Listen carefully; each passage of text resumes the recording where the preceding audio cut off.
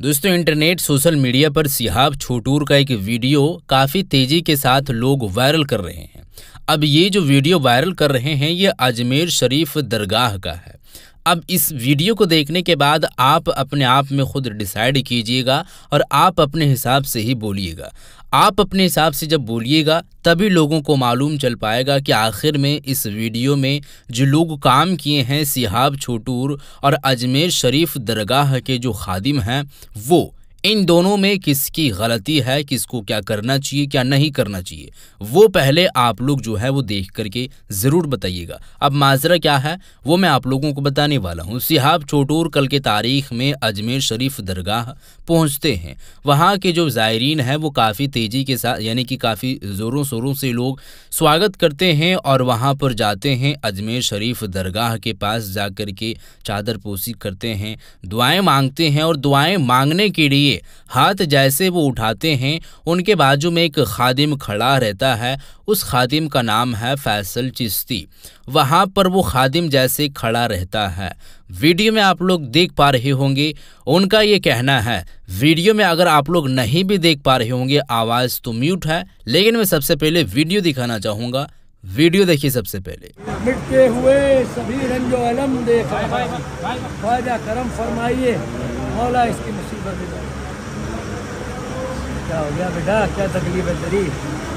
अब ख्वाजा करम करेंगे। दुआ मांगने दो दुआ मांगने दो दुआ मांगने दो ख्वाजा करम करेंगे मौला सब मुश्किल आसान करेंगे।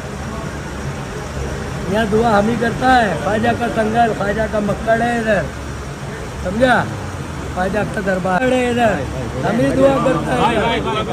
दुआ करो नहीं तो जाओ इधर से। हो गया तेरा? चलो। बेटा आजा तो वीडियो आप लोग देख चुके हैं। वहाँ के जो खादिम थे, फैसल चिश्ती, जब वो सिहाब छोटूर के ऊपर कंधे में सर पे जब हाथ रखे तो उनका कहना है, यानी कि सिहाब छोटूर तो सबसे पहले उस हाथ को फटकार दिए। उसके बाद से थोड़ी देर के बाद फैसल चिश्ती, यानी कि खादिम जो है, उनका कहना है कि, क्या दिक्कत है बेटा? यहाँ पर आप दुआएँ मांगने के लिए आए हो या फिर क्या करने के लिए आए हो? अगर दुआएँ मांगने के लिए आए हो तो सबसे पहले मैं जो है वो दुआ कबूल करूँगा, उसके बाद ही जाकर के कहीं और दुआ कबूल होता है। तो मैं भी यहाँ पर खड़ा हूँ दुआएँ करने के लिए। ख्वाजा का मैं मक्कार हूँ, ये हूँ, वो हूँ, तमाम तर बातें कह के ये जो है वो रख दिए। फाइनली ये भी बात बोल दिए कि आपको यहाँ पर रहना है, फिर रहिए। वरना यहाँ से आप निकल सकते हैं, आपका यहाँ पर कोई भी ज़रूरत नहीं है, आप यहाँ पर नहीं रह सकते हैं, ऐसा फटकार लगाते हुए ये बात कहते हैं।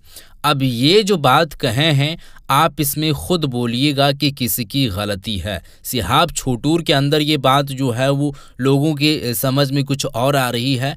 या फिर यानी कि वहाँ के जो खादिम है फैसल चिश्ती, उनके हवाले से भी आप क्या बात कहना चाहेंगे, ज़रूर बताइएगा। फ़िलहाल अभी का तो यही एक ख़बर था, जो इस तरीके से अभी मामला पेश आ रही है। अभी राजस्थान यानी कि जो वहाँ पर अजमेर शरीफ दरगाह सिहाब छोटूर गए थे, वहाँ से वो निकल चुके हैं।